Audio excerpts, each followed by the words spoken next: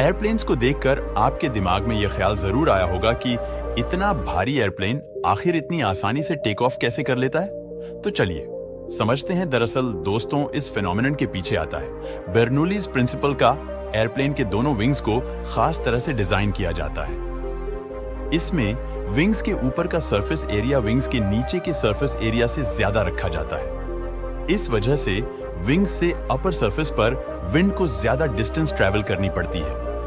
वही विंग के निचले सरफेस पर विंड को कम डिस्टेंस ट्रेवल करनी पड़ती है।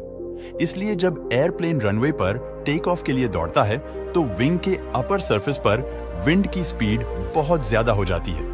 विंड के नीचे वाले सरफेस पर विंड की स्पीड कम होती है। बर्नौलिस प्रिंसिपल के हिसाब से अगर विंड फास्ट है तो वह लो प्रेशर क्रिएट करेगी।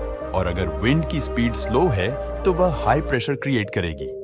इस वजह से दोनों विंग्स के अपर सरफेस पर लो प्रेशर और लोअर सरफेस पर हायर प्रेशर क्रिएट हो जाता है।